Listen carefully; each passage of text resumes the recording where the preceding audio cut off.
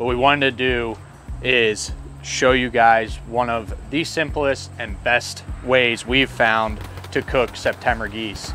Geese get the rap of being greasy, yada, yada, yada, just like all waterfowl. And if you've seen our other videos, we start them off all the same way. You gotta know how to prepare the meat and not overcook it. When you overcook waterfowl, it just is not a good taste. So you wanna cook these just like a steak, medium, rare to rare. When I say that, 125, 135 max is the temperature you're reaching for. And that is exactly what we're gonna do with these today. We got three simple seasonings, sea salt, black pepper, and garlic powder. We cleaned off all the silver skin and fat and everything off these goose breasts, tenderized them, and seasoned them lightly with this stuff. What we're gonna do is we're gonna do a reverse sear just like a steak. So we got the Traeger rolling. It's at 170 right now. We're gonna throw these breasts on the Traeger, let them smoke for about 45 minutes to an hour. We're gonna take them off the Traeger and sear them on the Blackstone. And what we're shooting for is a steak and we actually got Henry right behind the camera right now who's never eaten goose before. So we're gonna get his input on what he thinks of goose and how close it can be to steak. September geese is a phenomenal table fare. One of the reasons September geese are really good is they're not flying a lot. They're eating sweet corn, alfalfa, clover. They're not moving a whole lot and you got a lot of really young tender birds. So that makes them an ideal candidate for a great meal. Do not throw them out. Don't pitch them in a ditch. Don't throw them in your grind pile.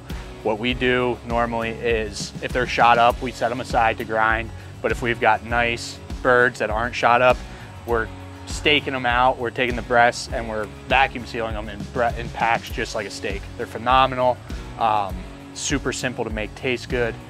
Keep them at that 125 to 135 range and you're gonna be pleasantly surprised with the result. All right, so we got the Traeger. It's just on smoke. If you don't have smoke, 180 is usually the lowest. So this is gonna flutter between 160 and 180. We're gonna throw these breasts on here. Got good smoke here, just regular hardwood pellets. We're gonna let them sit there for about an hour. I try to put them all in the middle of the grate. That way they're cooking evenly. Sometimes you get them on the sides or fronts or backs. They're gonna, it's gonna be a little hotter.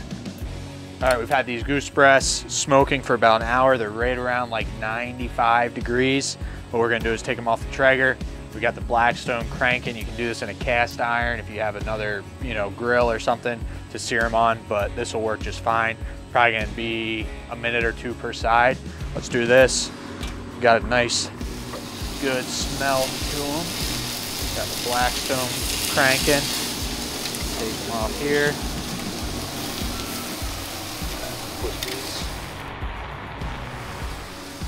Smaller ones ready to go let these puppies rest for a little bit. Let us know your honest opinion. Honest opinion? Honest.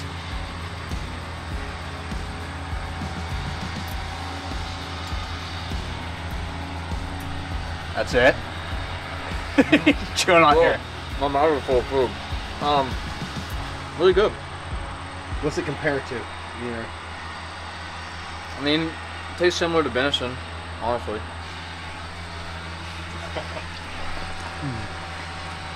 The good reaction on this okay. one.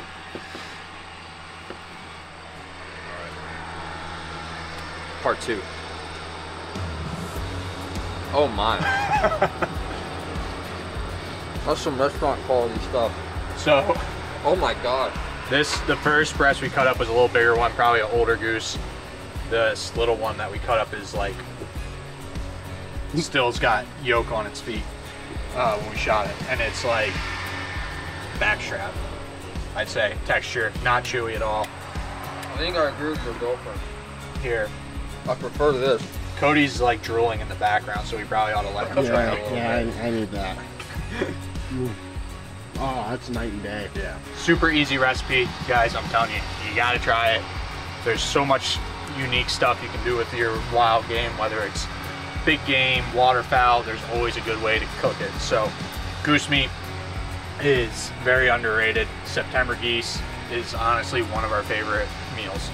Give it a try. And if you guys want to see more recipes in the future, be sure to let us know. Hopefully you're out getting some time in the woods. Good luck hunting, stay safe, and we'll see you on the next one.